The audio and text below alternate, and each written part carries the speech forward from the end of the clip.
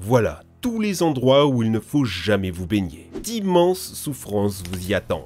On les a regroupés en plusieurs catégories et vous allez voir que derrière des eaux calmes se cachent parfois des histoires terrifiantes que vous n'avez vraiment pas envie de vivre. Ne vous baignez jamais près d'un volcan.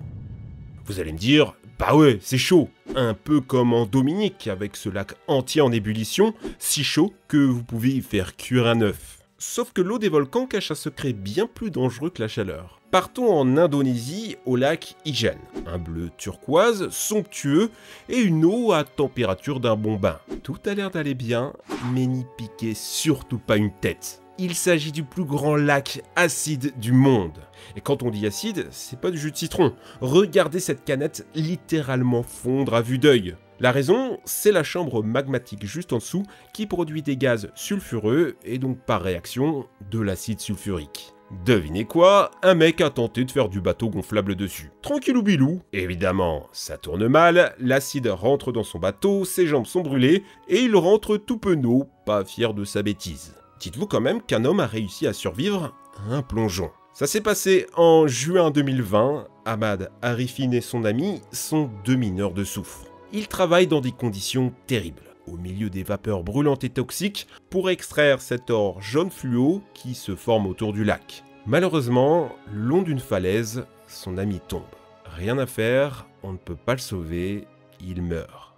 C'est d'autant plus triste que sa famille n'allait pas pouvoir lui offrir de tombe, l'acide étant déjà en train de le dissoudre. Ahmad ne pouvait pas s'y résoudre. Il plonge dans l'acide brûlant pour récupérer la dépouille de son ami. Ahmad est aujourd'hui considéré comme un héros dans son pays. Il a pu offrir à son meilleur ami une dernière demeure digne de ce nom. Colin Scott, lui, n'a pas eu autant de chance. Il est tombé dans un des bassins acides du Yellowstone aux États-Unis. Une eau à 95 degrés, un pH de 2. On n'a jamais retrouvé son corps. Voici donc sa tombe. Si vous aimez ce genre d'endroit, allons dans celui qui est considéré comme le pire, la dépression de Danakil.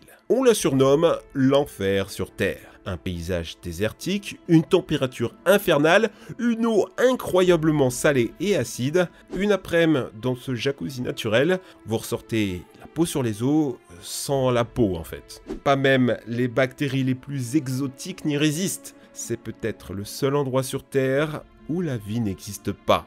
Mais attendez, de l'eau acide, c'est rigolo. Mais parlons aussi des eaux basiques. Parce que oui, je vous rappelle que le pH, c'est un spectre. L'eau est au centre, pH 7, en dessous de pH 2, ce sont les acides forts, mais quand tu remontes, c'est pas la joie. pH 12, c'est de l'eau de Javel, et pH 13, c'est de la soude caustique. Et si tu as vu la vidéo de Nozman sur le poisson dans le Javel, tu sais que comme l'acide, hein, ça rigole pas. Eh bien, un lac hyper basique, ça existe dans la nature, comme le célèbre lac Natron en Tanzanie. Il est célèbre pour transformer en pierre tout ce qui est nage. L'eau étant pleine de carbonate de sodium décahydraté, ce qu'on appelle le natron, le produit qu'on utilisait pour faire les momies en Égypte ancienne. Ça sur votre peau, ça brûle comme de l'acide. Étrangement, il y a de la vie. Les flamants roses, les algues rouges et une seule espèce de poisson. Maintenant, si vous ne souhaitez pas faire le chemin jusqu'en Afrique, il existe un autre lac super basique, cette fois-ci en Angleterre, le lagon bleu de Buxton. Son pH est le même que l'eau de Javel. Et malgré les pancartes qui interdisent la baignade, bah il y a plein de gens qui y plongent. Pas malin, ça provoque pas mal d'hospitalisation pour des brûlures, notamment aux yeux. Surtout que même si l'eau a l'air pure, c'est en fait une décharge noyée. Carcasse de voiture, animaux morts, excréments, tu piques une tête là-dedans mon ref ça semblait pourtant impossible d'empêcher les gens de se baigner, alors les autorités ont eu une idée. Verser dans le lac un colorant noir. Et ça marche, il a plus personne. Sauf que les Anglais, sont des terres. Et en 2020, on a dû entourer les plages de bouse de vache pour que plus personne n'y pique-nique. Peut-on se baigner dans un réacteur nucléaire?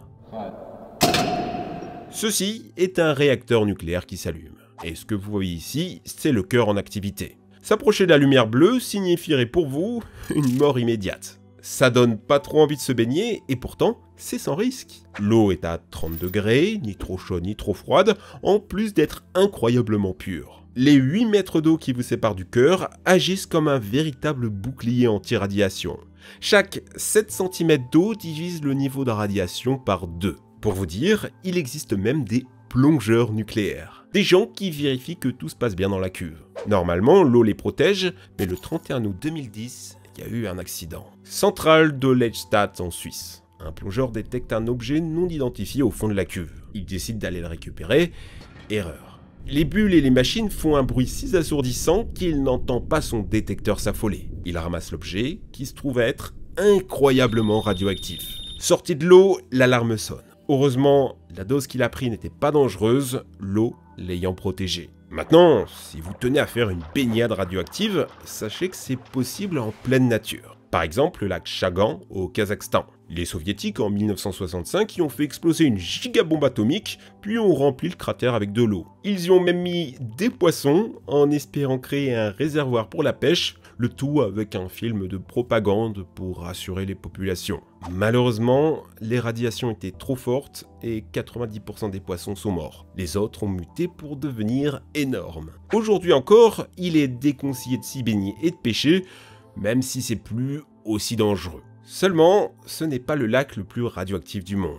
Celui dont je vais vous parler a été asséché et cimenté, mais à une époque, s'y baigner c'était la mort assurée. Union soviétique 1951. À l'époque, les déchets nucléaires, on s'en débarrassait dans la nature. Notamment dans un petit cours d'eau, le lac Karachay, devenu réservoir d'eau V9. Seulement, les locaux continuaient à y boire, à y pêcher, parce que le gouvernement ne disait rien pour garder secrètes les installations nucléaires à proximité. Au fil du temps, le lac a accumulé tellement de déchets toxiques que ses eaux émettaient 120 millions de curies, soit plus du double de ce qui avait été enregistré suite à la catastrophe de Tchernobyl. Se tenir à côté du lac pendant une heure, c'était la mort assurée. Et devinez quoi? Le lac s'est asséché. Et lors d'une tempête, les sédiments se sont envolés à travers toute la Russie, contaminant un demi-million de personnes. Voilà pourquoi depuis 2015, tout est bétonné. On a même fait repousser des plantes dessus. Par contre, les arbres sont interdits de peur que leurs racines aillent trop profond et réveiller cet enfer vert fluo. Quand le courant est plus fort que toi. En voyant des vagues aussi puissantes, personne de censé n'irait nager là-dedans. Eh ben, nombreux sont les touristes à visiter la plage la plus dangereuse du monde, l'Anakapiai d'Hawaï.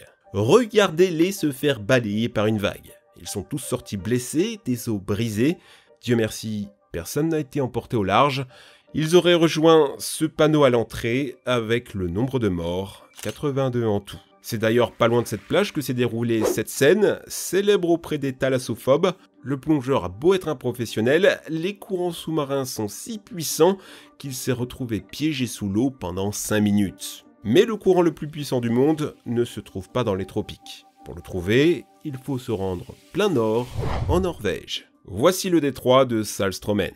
Il sépare deux grandes étendues d'eau qui, quand vient la marée, provoquent ce courant d'une puissance hors norme des tonnes d'eau propulsées à 40 km/h. Quand ces masses se rencontrent, elles forment des maelstroms, de puissants tourbillons qui avalent les malheureux qui s'y baigneraient. Ils sont si gros que les navires sont obligés de les éviter, car ouais, hein, les tourbillons, c'est des phénomènes dangereux. Ne vous fiez pas aux vidéos YouTube de gens qui s'amusent à y plonger, ils font les malins, mais dans les commentaires, il y a des témoignages de survivants qui ont eu beaucoup moins de chance. Des scientifiques ont en effet déjà testé d'y jeter des mannequins, par exemple ici dans le maelstrom du Corevrekan, la balise a enregistré une aspiration jusqu'à 262 mètres de profondeur. Maintenant, dites-vous que c'est pas parce que l'eau n'est pas autant agitée qu'elle n'en est pas moins dangereuse. Voici ce qui est considéré comme le cours d'eau le plus dangereux du monde. C'est tout calme, hein Vous auriez envie de sauter de bord en bord. Pas grave si on tombe. Tomber dans le stride est 100% fatal. Depuis le Moyen Âge, cet endroit est connu pour avaler les enfants. Récemment, un homme a essayé de sauver sa femme qui est tombée, il est mort aussi. La cause, c'est un puissant courant sous-marin qui t'aspire sous l'eau, avec au fond des grottes et des rochers pointus. À la sortie, les corps retrouvés étaient en charpie. Pourquoi hein? Méfiez-vous de l'eau qui dort. C'est là qu'au gaz mortel. Vous avez forcément déjà vu ces vidéos de mecs qui foutent le feu à de la glace. En réalité, ce sont des bulles de méthane qui remontent à la surface, car oui, hein, l'eau ça fait des gaz. Et vous baignez dans une eau saine peut finir par vous étouffer. C'est le cas du lac Dorshow en Californie. C'est beau, c'est bucolique, mais un tremblement de terre en 1989 a ouvert une faille dans un réservoir de gaz souterrain. Depuis, le lac rejette tous les jours jusqu'à 150 tonnes de CO2 et de sulfure d'hydrogène toxique. Regardez ces arbres morts. Ça se voit qu'il y a un danger. Il y a même des panneaux. Pourtant, des touristes continuent de camper dans la région et nombreux sont ceux qui finissent asphyxiés. Et encore, ça c'est les lacs gentils. En Afrique, les dégazages sont beaucoup plus puissants. En 1986 au Cameroun, 1700 personnes sont mystérieusement mortes dans leur sommeil. Le coupable a fini par être trouvé, le lac Nyos. Au fond de celui-ci, il y a une véritable mer de CO2 et de soufre. On suspecte qu'un glissement de terrain dans l'eau a secoué le fond et fait remonter 1200 mètres cubes de gaz. Des gaz lourds qui sont restés au sol et ont déferlé sur les villages comme une vague mortelle de 50 mètres. On appelle ça une éruption limnique. Les témoignages font froid dans le dos, comme ce père entendant sa fille suffoquer dans son sommeil avant de s'évanouir en tentant de la sauver. C'est pour ça qu'aujourd'hui, on dégaze ces lacs en enfonçant des pompes jusqu'au fond. Mais ça suffira pas pour un lac encore plus dangereux, le lac Kivu entre le Rwanda et le Congo. 300 000 mètres cubes de CO2 et de méthane dorment dans ces eaux calmes, alimenté continuellement par le volcan à côté. Un dégazage menacerait les 2 millions de personnes qui vivent aux alentours. Surtout que les dégazages, on peut les prévoir, ils se produisent naturellement tous les 1000 ans. Où se trouve l'eau la plus polluée du monde? Grâce à la pollution, il n'y a pas besoin d'être Jésus pour marcher sur l'eau. La rivière Citarum en Indonésie est la plus polluée du monde. Les industries textiles y déversent des produits extrêmement toxiques, obligés d'installer des panneaux danger à la sortie des canalisations. Même chose pour la rivière de Buriganga au Bangladesh ou celle de Pasig aux Philippines. Mais le cours d'eau le plus emblématique, c'est clairement le Gange en Inde. Les égouts de la ville y sont à ciel ouvert. La concentration en bactéries fécales coliformes est 100 fois supérieure aux limites légales. On y jette les cadavres et on y baptise les nouveau-nés. Ouais, c'est là-dedans que les enfants se baignent. Pas étonnant qu'un tiers des morts en Inde soient causés par le Gange. Et pourtant, ce n'est même pas les eaux polluées les plus dangereuses pour votre santé. Les pires se trouvant en amont des mines de métaux précieux, car pour leur extraction, on a souvent besoin d'acide, de mercure et d'arsenic. La ville de Germana en Roumanie s'est ainsi retrouvée ensevelie par des bouts toxiques. Un cas plus extrême, c'est le Berkeley Pit aux États-Unis. C'est une ancienne mine de cuivre abandonnée, elle s'est remplie d'eau et tous les déchets toxiques entreposés s'y sont dissous. En 2016, des milliers de canards sont morts rien qu'en s'y posant. Du coup, la municipalité a été obligée d'installer des gardes armés pour faire peur aux oiseaux. Et puisque le capitalisme ne perd pas le nord, c'est devenu une attraction touristique, 3 dollars l'entrée. Dans mes recherches, j'ai néanmoins trouvé pire. C'est pas très connu, mais laissez-moi vous présenter Churchix en Russie. Elle a le record Guinness Book de la ville la plus cancérigène du monde. L'espérance de vie est de 42 ans pour les hommes. La raison C'est les usines d'armes chimiques qui se trouvent dans la ville. Gaz sarin, gaz moutarde, cyanure, arsenic, léwisite, hypérite, c'est la totale. Tout ça dans la nature. Certains polluants y sont 17 millions de fois plus concentrés que la limite sanitaire. C'est d'ailleurs dans cette ville qu'on a vu apparaître des chiens bleus. C'est pas une blague. Heureusement, tout ça change. Beaucoup de ces cours d'eau sont en cours de dépollution. L'enjeu écologique est heureusement une prise de conscience mondiale. Même les eaux de la Seine à Paris se réouvrent petit à petit à la baignade, mais combien de temps faudra-t-il pour qu'on puisse se baigner partout comme autrefois? Dans cette vidéo, je n'ai pas parlé des eaux infestées de requins, de méduses, de piranhas ou de crocodiles parce qu'il y en a beaucoup trop et que normalement, vous savez que si personne se baigne à un endroit, c'est qu'il faut pas trop y aller. Enfin, tu vas me dire, il y a un monteur de la chaîne ou la carte, le gars s'est baigné dans une rivière alors qu'il y avait des crocodiles sur la berge d'à côté. Mais YOLO la vie, ça va, c'est sans danger. Oh la carte, comment on aurait fait pour monter la vidéo sans toi? Moi je suis quelqu'un, j'adore le risque. Bon, les gars, dites-moi, Si je vous donne 10 000 euros, dans quel cours d'eau dont on a parlé vous oseriez vous baigner? Plutôt lac acide ou rivière nucléaire? Dites-moi ça en commentaire. Merci d'avoir suivi la vidéo, pensez à vous abonner. Allez les amis, ciao